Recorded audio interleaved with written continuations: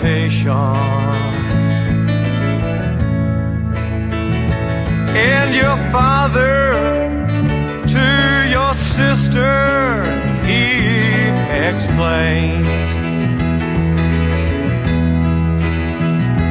that your time